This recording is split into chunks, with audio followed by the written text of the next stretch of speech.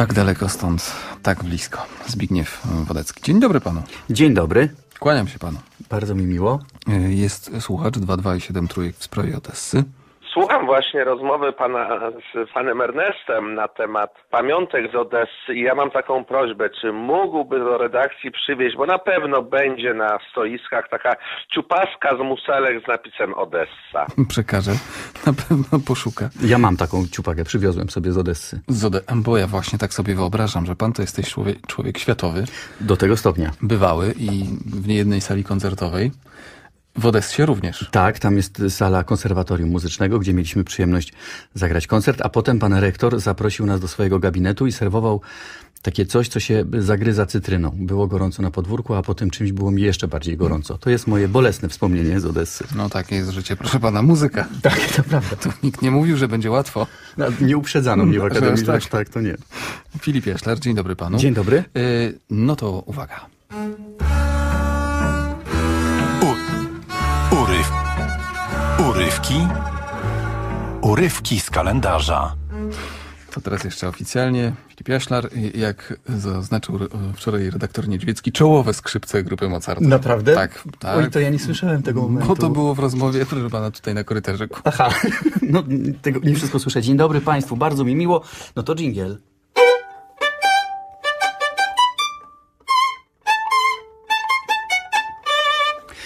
Obiadów nie jadłem, herbaty nie piłem. Tak bardzo za panem Marcinem tęskniłem. Ojej, to Naprawdę. Nareszcie koniec moich cierpień. Cieszę się, że znowu mogę być w porannej audycji.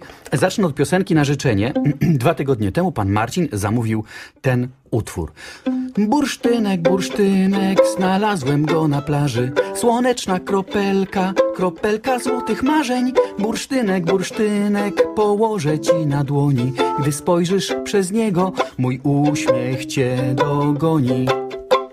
A dziś 23 dzień sierpnia. Imieniny obchodzą Archelaus, Cyriak, Sydonia i Sulirad. Wszystkiego najlepszego. Przysłowie na dziś. Gdy księżyc w pannie ogrzmoty, 50 dni pluszczą słoty. Czyli po naszemu, jeśli dziś będą burze, to czeka nas deszczowa pogoda aż do 12 października. W takim razie burzom mówimy stanowcze nie. A oto co zdarzyło się 23 sierpnia. 23 sierpnia 1963 roku ukazał się singiel zespołu The Beatles She Loves You.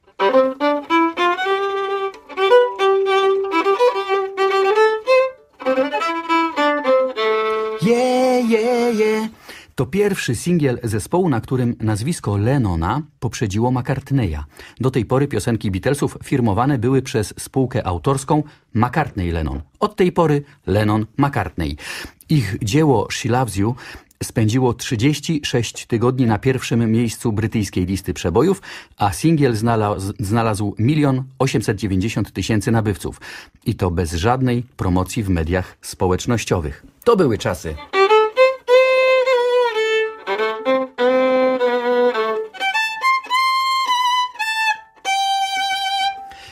Dokładnie 11 lat później John Lennon zaobserwował UFO latające nad Nowym Jorkiem. To jest wiadomość agencyjna, nic nie zmyślam. Drodzy Państwo, byłem kiedyś w Nowym Jorku, obserwowałem tam niebo i nie udało mi się dostrzec żadnej, żadnego niezidentyfikowanego obiektu latającego. Ale też nigdy mój singiel nie sprzedał się w prawie dwóch milionach egzemplarzy. Jak się sprzeda, to pewnie zobaczę. Bardzo dziękuję. nie, to my dziękujemy, proszę pana. Bardzo serdecznie panu dziękujemy. Chciałem jeszcze powiedzieć, że nic w życiu mi tak dobrze nie wychodzi jak wypoczywanie, wczasowanie.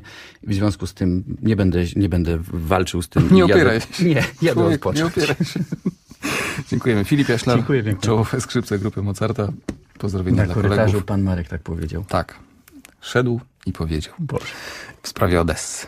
Pan Ernest miał bardzo dużo szczęścia, bo żeśmy pod koniec czerwca tego roku na tramwaj numer 5 w Odessie czekali, czekali, czekali chyba ze 40 minut zanim się pojawił, a potem nie można było do niego wejść. Natomiast mieszkańcy Odessy zauważyliśmy, że znaleźli na to rozwiązanie, bo siadają często na haku tego tramwaju na zewnątrz, jeżeli nie można dostać się do środka. Polecam panu Ernestowi kanatną drogę, bardzo fajne wagoniki wiszące na linach, którymi się można dostać z bulwaru francuskiego e, na plażę, no i delfinarium. Delfinarium jest śliczne, można popływać za niewielkie pieniądze z delfinami. A w ogóle wasza relacja bardzo mi się podoba i wspomnienia mi się pojawiły z czerwca i bardzo zazdroszczę panu Ernestowi. Cała przyjemność po naszej stronie. Przekażemy Ernestowi. Połączymy się mniej więcej 20 minut po siódmej. Jeszcze sobie porozmawiamy troszkę na plaży.